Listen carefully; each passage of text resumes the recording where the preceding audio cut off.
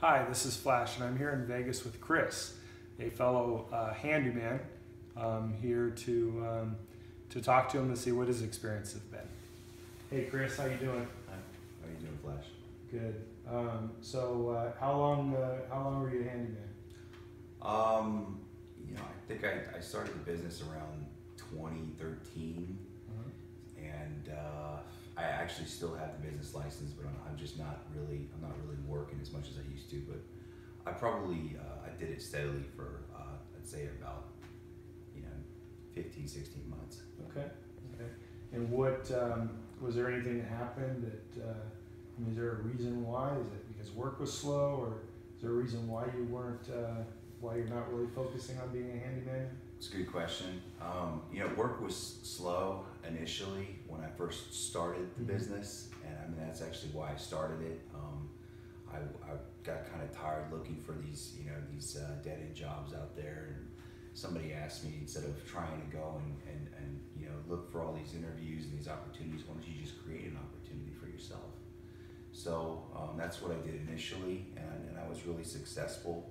Uh, I at least I, I think um, you know for the first year that I did it, but uh, just what I came to understand with the business was that there were all of these uh, you know laws and regulations that that uh, can really deter you from you know from growing Mm-hmm. uh, as a being in the handyman business, and um,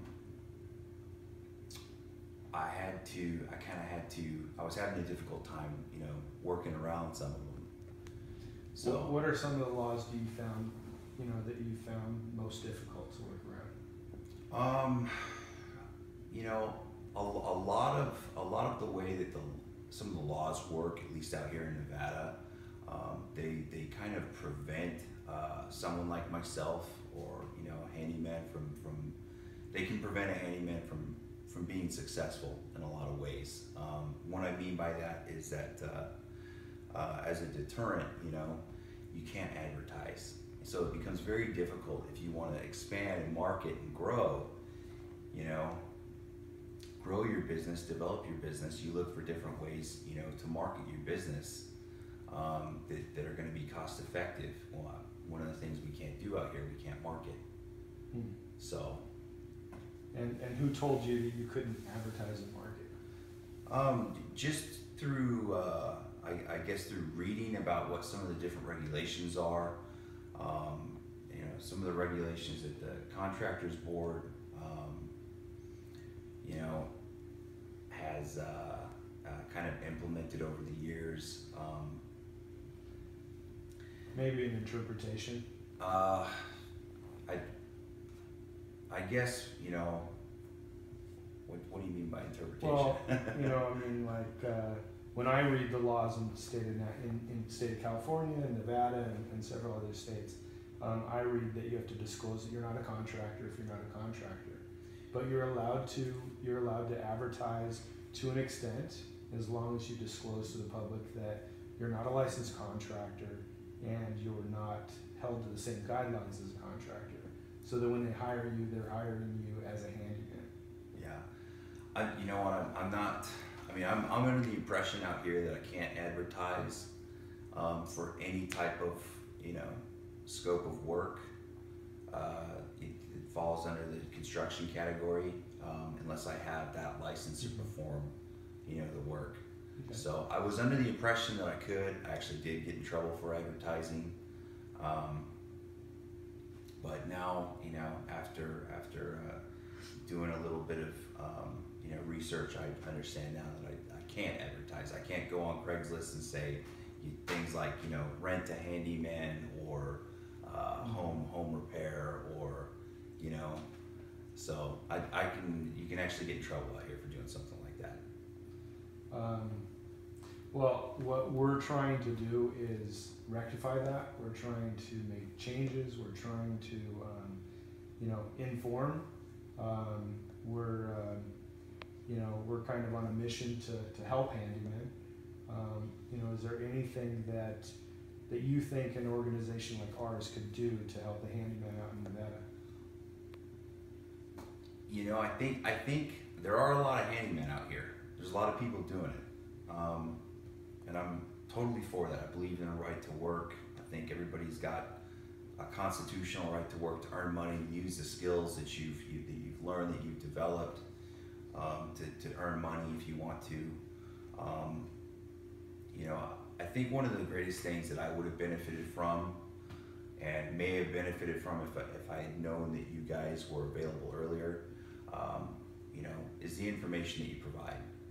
As far as actually sitting down with somebody and, and explaining and going over what some of the details are regarding the law, because that's an important factor to consider anytime you try to start your, you know, a handyman business. Um, but then, you know, actually knowing what to do if you're ever in a situation where, uh, you know, a contractor's board is conducting a sting operation or something like that, because they do happen, you know, and it's just, uh, it's, it's a probability. It probably, if you're gonna do this, it could happen one way or another, especially if you're advertising like I did on Craigslist. Well, you know, they they they talk about stings and, and how they locate companies for stings and one of the references that they use is advertising. They say when a guy puts a, an ad on Craigslist, then they you know, they red flag it and then they go after him. So I understand you were involved in a sting. Is there is there something you want to tell about your sting? Maybe help others who, who might not think that uh, it can happen to them. Well, I mean, it can happen to anybody. Obviously, if you're out there and you don't have a contractor's license, and uh, you know, and you're following the law, like like most of us do that take this business seriously. If you're a handyman, um, if, if, you're if you're out there and you're trying to perform work and you're following the law, and you know, and you're advertising on Craigslist like I did, and you happen to be caught up in something like that where they they are conducting a, a sting operation. I mean, you can you can get you can get in a lot of trouble for it. You'll have to go to court. You could face, uh, you know, fines, jail time. I mean, so I think in being in a situation like that, uh, learning as much as you can about the law and understanding what the rules, what the regulations are, what the laws are, and also being a part of a reputable association um, that can educate you what some of those laws are. I think that that's probably the utmost uh, importance for for Did, anybody. did you feel at all that there was an intention by the state to intimidate you in any way? I definitely uh, I was intimidated. If I can, you know, if I can be honest, um, I did feel intimidated by by the by the state um, when they brought the charges against me. Um, it actually it hindered my uh, I, I would say my growth and my development. Um, you know, as a uh, as a business, it, it hindered that growth. Um, it was really stressful the whole you know the whole uh, ordeal. But uh, you know, aside from all the charges against you know being being uh, conducted against me by the state, um, they were they continued to try and set me up in other stings by calling me on the phone, pretending to be somebody that they weren't, you know. And I was I was fearful that I could, you know, about taking other jobs. Uh, I didn't want to take jobs with people that I was referred to take, you know, to help out or something. So it, it did kind of affect the way that I thought about the, you know, being a handyman altogether, as I'm sure a lot of people that go through this do. So, So in a way, did they intimidate you out of business? uh, I, you know, I, I don't want to, I don't want to sound like I'm, I'm scared of anything like that, but uh, I, I just, I think that there are improvements that, uh, that like this state could take, um, you know, to try and. Uh, I'm not saying that they need to be lenient. They're, they do perform a service to contractors board. It is absolutely necessary. I do believe what they, you know, what they do is it's it's absolutely necessary. The people out there that, that take advantage of other people, but for the people that are trying to follow the law, they've got the insurance, they've got the business, they've sought out, you know, a reputable association to be a part of. I think they really need to um, look at these people as, as, as business owners, you know, that are trying to conduct a, a, an honest business Right. and they're trying to obey the law and uh, you know they're not you know criminals out there trying to take advantage of everybody. So, Now you, um, I understand you hired attorneys to, to help you. Um, so prior to hiring your attorney, you might have been a little bit more intimidated than once you started learning more about what your rights were and things like that. Is that would that be correct? I, I was somewhat aware of what my rights were um, before the charge. Um, after going through that process and, and uh, being educated by the, uh, uh, the by the attorney that defended me, um, or attorneys that have, that defended me, um, I just became more and more aware Okay. of what some of the laws are and how, how they're kind of how you can massage them. Mm-hmm. There are loopholes to help uh, people like handymen um, to get around some of the laws. Because when the contractors board goes after you, uh, they go after you for everything you got. Right. You know, they're ruthless. They can be. So, so thinking back, if you, if you were part of the UHA or, or a reputable association, Yeah. um, and you were, you know, part of an organization with, you know, you know,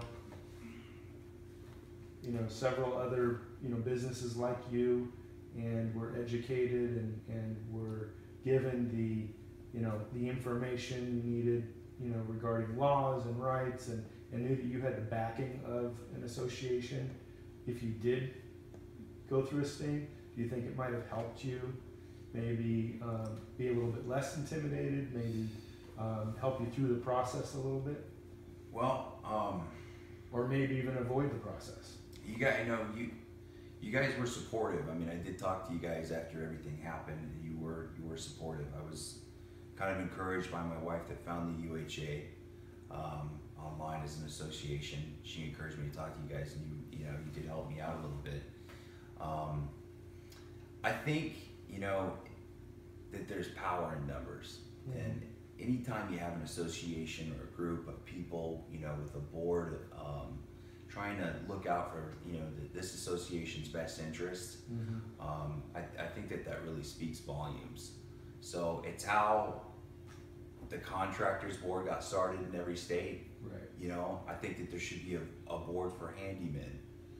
Um, maybe some people look at this and think, well, that sounds ridiculous. Just go get your contractor's license. You know, there's a lot of people out there that can't get their contractor's license. Either they don't have the money to front for the license, Mhm. they can't afford it. You know, they they they have a, a, a history of bankruptcy or something. There's a lot of people Mhm. that can't do that out there. Right. These people deserve to work just as much as the uh, the people that can obtain their license do. So Criminal, criminal history, or criminal history, of there's a lot of bankruptcy, whatever. Exactly. Yeah. There's a lot of deterrents. Um, so I mean, that's what we're about. It's all about you know helping, you know, helping guys that have a true skill that want to run a real business and and have insurance and a, and a business license and, and just want you know the right to work and and you know support their families. So um, you know I appreciate you. I appreciate you know you talking to me and and sharing you know what you've gone through and and I think that you know the words you say go a long way. Um, uh, you know, I just uh, you know we're here. We want to. I, I think that one of the most important things that Chris said was that that the whole thing about a group of people, a group of numbers, an organization of individuals or businesses that work together for a common goal. Um, you know, that's the intention. We come together, help maybe make changes, um, but uh, inform and, and work together and, and, you know, and make a living.